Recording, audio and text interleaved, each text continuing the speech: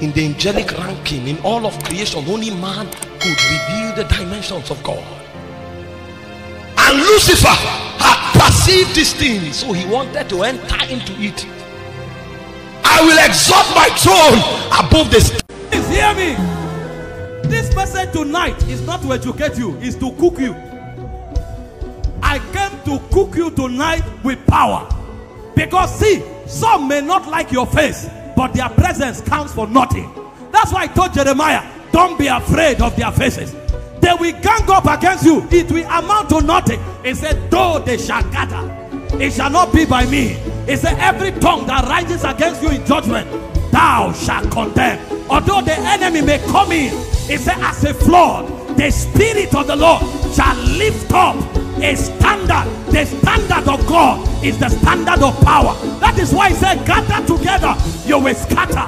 Take counsel together, it shall come to naught. Speak a word, it shall not stand. For the shout of a king Marapatekesia. Vere Tatoria. That thing that has been stopping you, they go down tonight by the power of God. Eh, ah. Ah, ah, ah, ah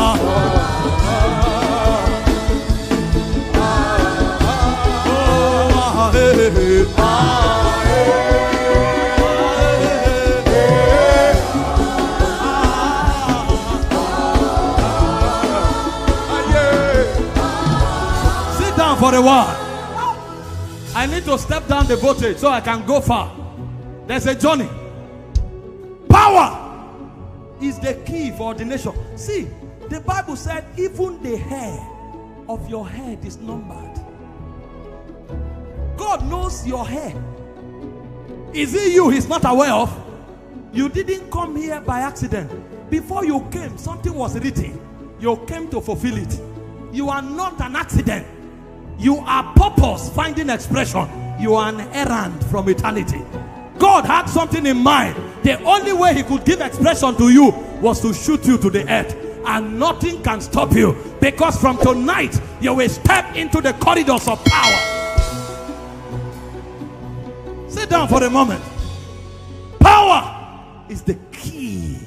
See, when you catch the power, fear dies. Because you know that even if hell breaks loose, you can't be stopped. That's how power works. Nothing can stop you. Number two, purpose of power. Power is the basis for accessing your inheritance. God is not a reckless father. He has inheritances for you and I. So that we have things that we receive on account of his love. But it will take power for it to be delivered unto you. Deuteronomy chapter 2, verse 24. He says, Rise ye up, take up thy journey, go beyond the river Arnon. Behold, I have given unto you Sihon the Amorite, king of Heshbon. Begin to contend with him and possess the land. The land has been given to you, but you need power to take over. See, your inheritances are a gift from God, but it takes power for you to access it. Because the devil will rise up against you. This is why God empowers us. My God, you think the devil wants you to walk in your glorious destiny? No. Anybody you see fulfilling destiny, the devil tried everything, it didn't work. Possess the land. See, somebody will possess something tonight. He said, I've seen an abomination on the face of the earth.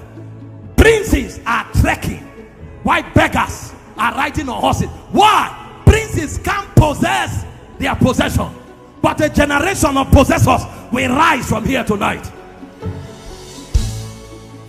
The third significance of power is that power guarantees protection. There are arrows. Listen, we are fought night and day. We are here because there's nothing the devil can do about it. We are fought, pressed on every side. Luke 11 21 to 23. When a strong man keeps his house, his gifts, his possessions are in safety. So you need to be a strong man to keep your house. And it's not just enough to be a strong man. You need to keep growing in strength. Because you will keep your house until a stronger man shows up. He said, That man will bind you and then take your spoil. But what now happens when the man shows up and discover you are stronger? You will collide with him, subdue him. He will not just repent. When a thief is caught, he will repay sevenfold. So you will divide the spoil of the other people that he has not looted. There are enormous things that we have that the devil is jealous of. The favor on your life, the wisdom on your life, the resources that God has given you, the influence God has given you. The devil wants to choke them. You need power to keep everything with you so that none is lost. Jesus said, All that you have given me, none has been lost. No one was lost. There was power to keep. So there is a power to possess, and there's a power to keep that which is possessed. This is why you need power. You will not lose anything in your lifetime.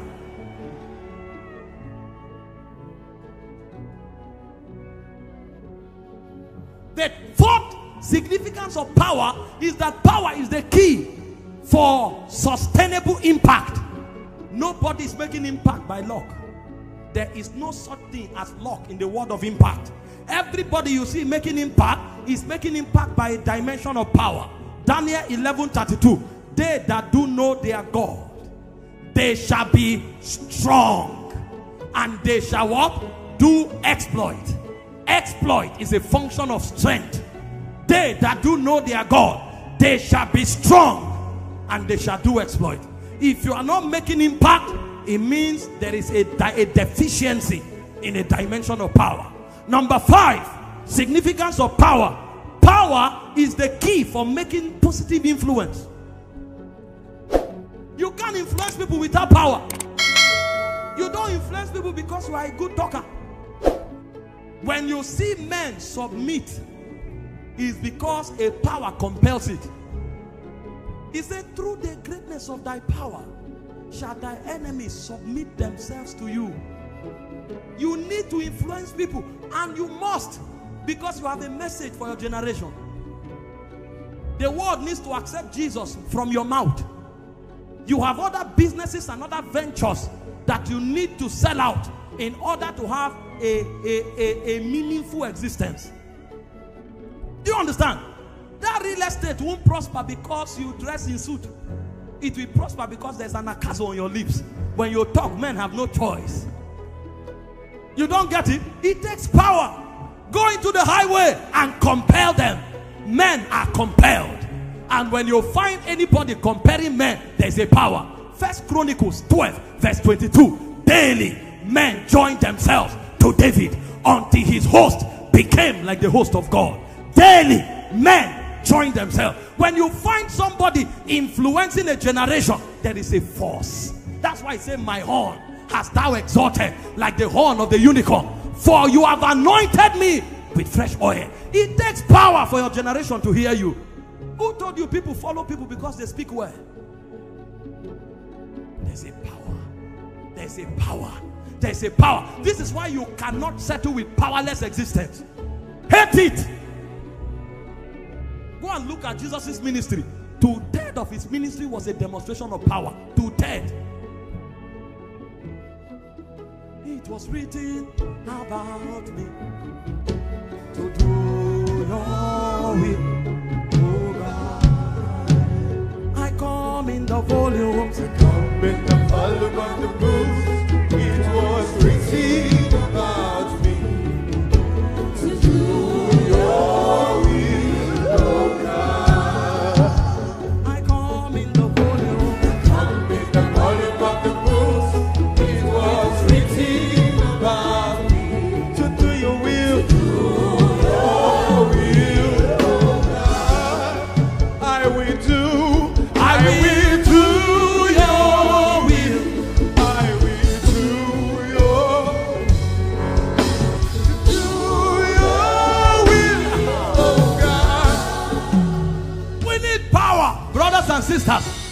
need a lot of it.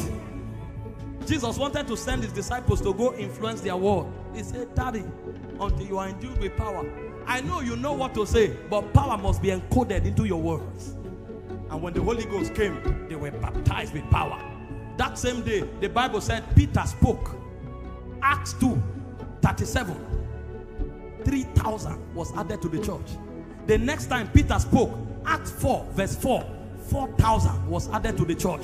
The next time they spoke, Acts 6, 7, even a great company of the priests became obedient to the faith and it became impossible for them to be together. So they had to separate and Philip went to Samaria. Acts 8 verse 1 to 5 he spoke and the whole city was filled with joy. Acts 13 verse 44 Paul spoke the whole city came under his influence. What type of thing is that? It's a power. Thank God for billboard. Thank God for media advert. But if there is no anakazo, you are joking. The first type of evangelism is power evangelism. When they heard him, he said they were pricked in their hearts. And on their own, they said, Men and brethren, what shall we do to be saved? We want to follow everything you have said. It took power. Fifth significance of power you can't help others except you are empowered. I've illustrated for you here before. A man sitting on the ground can't lift another up, he must stand first. Only powerful men can help others. No powerless man has the capacity to help others. Acts chapter 10, verse 38 how God anointed Jesus of Nazareth with the Holy Ghost and power, who went about doing good, healing all that were oppressed of the devil, for God was with him. The word doing good, there's the word philanthropy. It takes power to be a philanthropist. There are many people who want to help the hungry, they don't have power.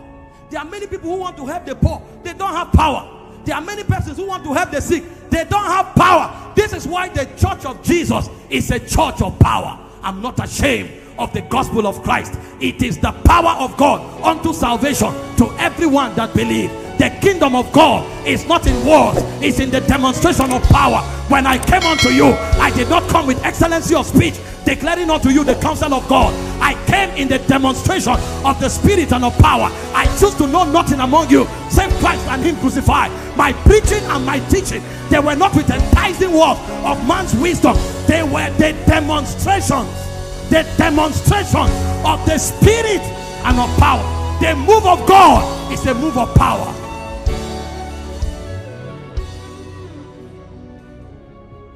Too many talkers. That's why nobody is helped. People are there for one year serving God, but they are sick. They are in sin. They are suffering. We need a fresh baptism. We need a fresh baptism. We need a fresh baptism. The apostles knew that a point came, their witness was not enough, and he said they returned to their own company and said, Father, behold their threatenings.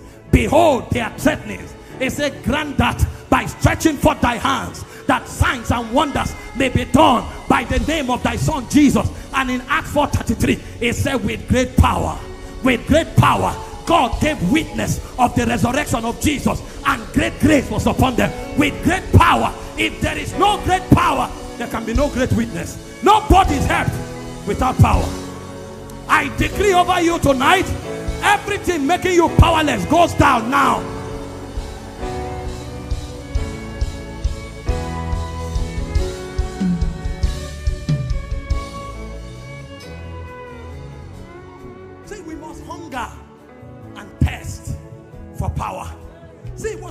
When I look at our generation, we have not seen anything and we are talking. Somebody will come and say, Better pursue character. All this power, power. Have we seen power? I'm not against character, I'm an advocate of character. Jesus manifested character for 30 years before power. But wait a minute, have you seen power? Which power have you seen? Joshua 10, verse 12. Israel was fighting in war, and Joshua stood in the public, stretched forth his hand, let the sun remain upon the mountains of Ajalon. Let the moon remain upon the valley of Gibeon. And they said the sun did not make haste to go down. That is power. The ability to rule the constellation. Have we seen power? Moses stretched his rod and the Red Sea parted. And the Bible said in Hebrews 11, verse 11, it said, By faith they walked through the Red Sea on dry ground, which the Egyptians are saying to do, perished. That's power. Have we seen power? Jesus showed up in the grave of Lazarus and he said, Lazarus, come forth. He said, He that was dead came back to life. That is power. Jesus carried five loaves and two fish, broke them, take, give them. 5,000 thousand men were fed. That is power. Our generation have not seen power. It's a time we fail me to speak of Gideon, to speak of Barak, of Jephthah, of Samson, of David, and the prophet who through faith subdued kingdoms, obtained promises, wrought righteousness, shut the mouth of lions, quenched the violence of fire. Weak men were made valiant in battle, and they put to flight the armies of the alien. That is power. We have not seen power. We need to cry for dimensions of power that are eternal. A generation hungry to see the hand of God must appear again. He said in Exodus 3, verse 20, I will stretch forth my hand and strike Egypt with all of my signs and my wonders. Then Pharaoh will let you go. And Moses showed up and told Pharaoh, Let my people go that they may serve me. Exodus 12, verse 12. And God walked through Egypt and judged the cause of Egypt, and they let Israel go. That is power. Oh, Adonai.